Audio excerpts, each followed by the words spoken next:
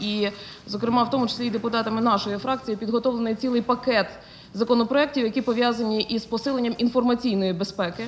Він передбачає фактично позбавлення держави-агресора мати право власності в українських ЗМІ.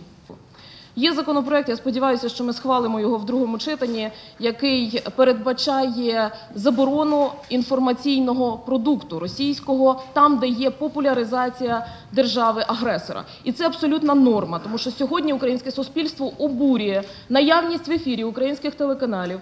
А оцих серіалів про доблісне російське військо в той час, коли від нього гинуть українські громадяни.